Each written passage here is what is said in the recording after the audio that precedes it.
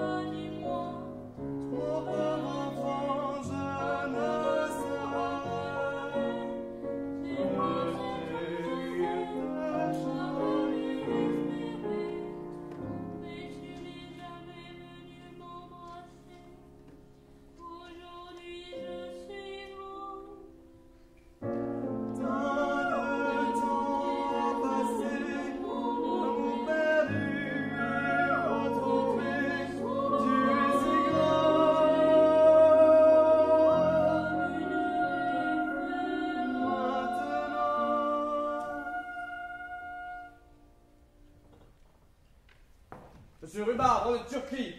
Je t'ordonne d'aller à table, petit monstre. Oh